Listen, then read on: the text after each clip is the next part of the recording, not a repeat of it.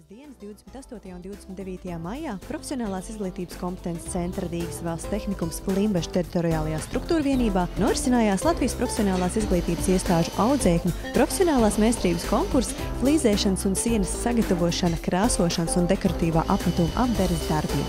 Šogad konkursā piedalījās 12 profesionālo izglītības iestāžu komandas. Ar labiem panākumiem dažādos profesionālās meistarības konkursos ik gadu piedalās Jēlgavas tehnikuma audzēkņi. Arī Limbažos Jēlgavas tehnikuma komandas puiši izcīnīja otro vietu. Šobrīd tehnikumā pēc pamatskolas izglītības apgūšanas jauniešiem tiek piedāvāts apgūt kopskaitā desmit profesionālās izglītības programmas, bet pēc vidusskolas absolvēšanas piecas. Turklāt, īstenojot Eiropas Savienības struktūra fondu projektus, šobrīd tehnikums piedzīvo vērienīgas pārmaiņas.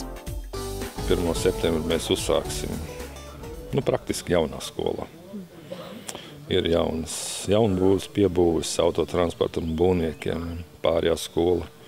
Viss tiek renovēta, galvniecībā aprīkojums kolosāls, jā, labākais no Eiropas. Jā. Tas pats autotransportā. Jauni ēdināšanas bloki, dienas viesnīca, divvietīgi numuriņi. Jauniešiem, ja netic maniem vārdiem, ir jābrauc uz Jelgavu, uz jauniešu pilsētu, studentu pilsētu. Un jāskatās, ko viņi var labi apgūt. Mēs centīsimies iedot viņam to, ko mēs zinām.